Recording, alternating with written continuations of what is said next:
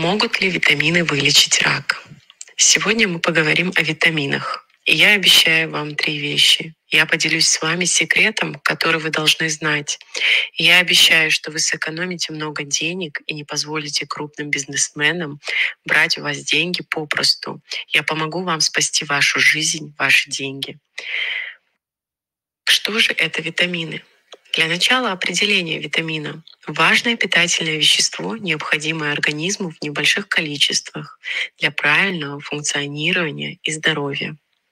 И витамины делятся на разные категории, такие как А, В, С, Д. Также витамин В имеет большую категорию В1, В12, В6, В5, известную фолиевую кислоту. Это основные типы. Наверняка вы слышали о них или встречались в той или иной форме. Из чего мы можем получить витамины? В основном они вокруг нас. Я имею в виду, что природа полна ими, такими как яйца, молоко, бананы, клубника, рыба, сыр, даже кофе, в котором есть витамин В2 и В5. Лучший источник витаминов – это свежие фрукты и овощи. И они доставлены нам самой матерью природой. Теперь, Диета, богатая фруктами и овощами, весьма полезна. Она помогает вашему телу нормально функционировать, а также имеет преимущество против рака. Она снижает риск многих видов рака. Например, рак простаты, рак груди, мочевого пузыря, рак мозга, рак кишечника, желудка и легких. И это лишь некоторые из них. Поэтому, безусловно, наличие фруктов и овощей, богатых витаминами, это очень полезная вещь для нашего организма. Есть витамины, созданные людьми. Это искусственные синтетические витамины, которые также известны как витаминные добавки. Они производятся крупными фармацевтическими компаниями. Они выпускаются всех цветов и форм в виде таблеток, капсул, сиропов. Это синтетические витамины большой бизнес. Когда я говорю большой бизнес, я имею в виду масштабный бизнес, как по количеству людей, использующих их, так и по количеству продаваемости упаковок, которые они производят, то есть фармацевтическая промышленность. Пример. В Америке почти половина населения употребляет эти витамины, и в настоящее время на них тратится более 140 миллиардов долларов. Смертельный секрет в том, что вы должны знать, как сберечь свои деньги и как не дать людям украсть их у вас. Давайте начнем с первого секрета, который вы должны знать. Это секрет, который компании, производящие витамины, не делятся с людьми и, к сожалению, с агентствами здравоохранения тоже. Врачи также не скажут вам об этом, потому что большинство из них сами этого не знают. Я хочу поделиться этим секретом, потому что он спасет миллионы жизней. Но хочу вас предупредить, когда я открою вам секрет, он очень рассердит богатых людей, потому что они зарабатывают миллиарды долларов. Мы получаем натуральные витамины из овощей и фруктов, а также все натуральные источники, такие как яйца, сыр, который снижает риск рака. Существуют научные доказательства, подтверждающие это. Что происходит, когда вы принимаете синтетические витамины? Они могут увеличить риск рака. Да, вы меня правильно поняли. Синтетические витамины могут увеличить вероятность того, что мы заболеем раком. Шок, не правда ли? Я сам был поражен тем, что никто не сообщает об этом общественности. Органы здравоохранения разрешают продавать их открыто, без рецепта, и все пользуются ими. Начнем с доказательства. Я хочу классифицировать эти доказательства. Итак, рассмотрим разные категории пациентов. Первая категория – люди с низким риском рака. Вторая категория – люди с повышенным риском рака, например, курящие люди. Третья – люди, у которых уже есть рак. Итак, с точки зрения онколога, что я вижу в этих трех категориях? Давайте посмотрим, что произойдет, если мы дадим витамины всем этим категориям. Категория номер один – люди с низким риском рака. В 2006 году было проведено исследование Norvet, норвежское исследование витаминов, и Wenbit, международное испытание витаминов В в Западной Норвегии. Они хотели понять, могут ли сердечные заболевания вылечиться с помощью витаминов. Но что они обнаружили? Повышенный риск рака и смертности от рака у норвежских пациентов, принимающих витамины от болезни сердца.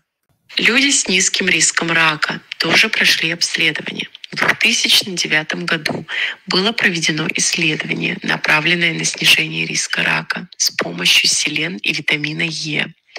Более 35 тысяч мужчин получили селен и витамин Е, а вторая половина мужчин не принимали их. Итак, что произошло? Риск рака простаты увеличился. Теперь перейдем к категории высокого риска. 1994 году высокий риск группы курящих людей 29 тысяч и 133 пациента, половина которых получила витамин Е и бета-кератин в течение 5-8 лет, после чего увеличилась смертность от рака легких при их употреблении. Исследование было остановлено всего через 21 месяц, и они больше не могли его проводить, так как это пагубно влияло на пациентов. Было проведено больше исследований, так как было любопытно, и многие думали, что мы можем вылечить рак с помощью витаминов, по крайней мере снизить риск рака. В 2007 году было решено давать фолиевую кислоту, чтобы уменьшить рак кишечника. Но что произошло? Люди, которые принимали фолиевую кислоту, имели более высокий риск множественных полипов в кишечнике, и полипы могут стать раком в течение времени.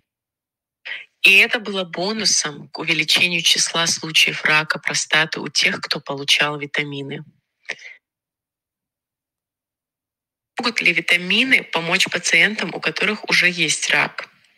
Было исследование, в котором пациенты с раком груди принимали витаминные добавки, такие как витамины А, С, Е, картиноиды, и у них повысился риск рецидива рака груди.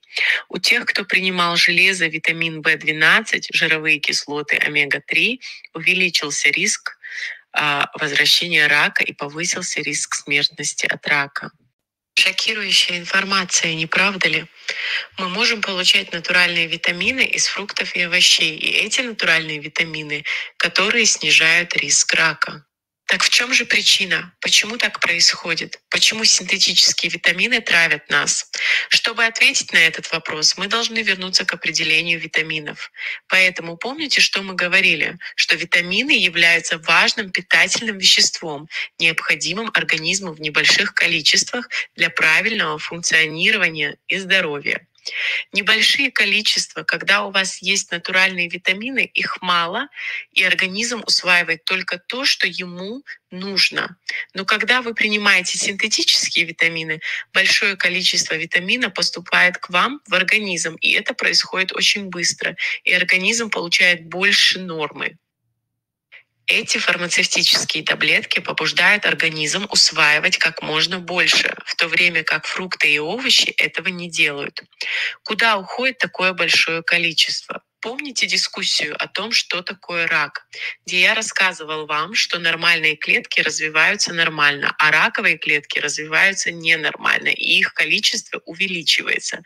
Когда вы кормите рак витаминами, то у тела нет возможности бороться с ним, и организм слабеет. Итак, вопрос на миллион долларов. Принимать витамины или нет? Вопрос на миллиард долларов. Почему никто не говорит о риске рака с помощью витаминов? Ответ очень печален. Пищевые добавки на миллиарды долларов – это большой бизнес. В 2016 году было заработано около 122 миллиардов долларов, а в 2020 году более 140,3 миллиардов долларов. Это большая индустрия, она обеспечивает рабочие места, платит налоги, зарабатывает много денег, подобно индустрии сигарет, алкоголя и быстрого питания. Людям не нравится говорить о рисках. Я хотел бы, чтобы вы взглянули на это. 33% населения Великобритании были подвержены риску рака в 2000 году. Именно тогда я начал работать. И в 2021 году 50% населения Великобритании подвержены риску рака. Рост с 33% до 50% за год 2000 мировых добавок витаминов было произведено и более 20 миллиардов, а сейчас это более 140 миллиардов, поскольку продажа и использование витаминов растет, а также растет число случаев рака. Еще один вопрос на миллиард долларов. Насколько увеличилось количество раковых заболеваний из-за увеличения использования витаминных добавок? Мои дорогие друзья, это то, что нам нужно проверить дополнительно определенными испытаниями и исследованиями. Но, к сожалению, никто не хочет этим заниматься. И я думаю, что витамины должны быть помечены, обозначены как опасные, так как они могут увеличить риск рака.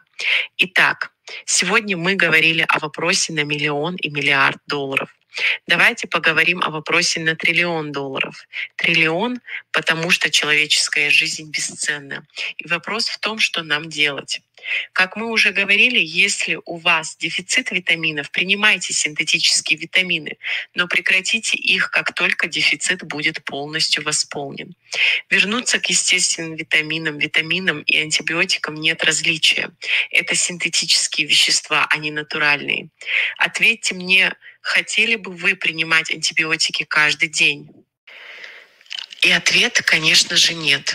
Так что прекратите принимать витамины, когда они вам не нужны, и вернитесь к естественной форме, потому что организм берет из пищи только то, что нам нужно. Давайте поговорим об одном из обещаний, которые я вам дал. Обещание, которое я выполнил. Мы поговорили об смертельном секрете, который вы должны знать.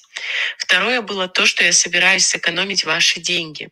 Итак, мы знаем, что витамины попросту вам не нужны, и вы не будете тратить свои деньги на эти токсичные химические вещества и сэкономите много денег. Рак – очень дорогое заболевание для людей, которые платят за свое здоровье и может быть самой большой причиной банкротства. Даже в странах, где медицинские обслуживания предоставляются бесплатно, рак не делает никого богаче. Он действительно делает богатым других людей. Они являются владельцами мегабогатых фармацевтических компаний. Так что мой совет – перестаньте терять свои деньги, жизнь и здоровье. Спасибо большое вам за внимание. Меня зовут доктор Муниб Хан. Я онколог, работающий в Соединенном Королевстве. И моя цель — помочь всем понять, как предотвратить, лечить и вылечить рак. И в этом суть моего канала. Моя миссия — предотвращать, лечить и вылечить рак. A very special thank you to Milana Mereshkova for her excellent translation and voiceover. Spasiba Zavinomiania Milana. And I'd like to, to request you all to kindly follow Killing Cancer Kindly with Dr. Khan on YouTube, Instagram, Twitter, Facebook, and TikTok. Thank you very much. Spasiba.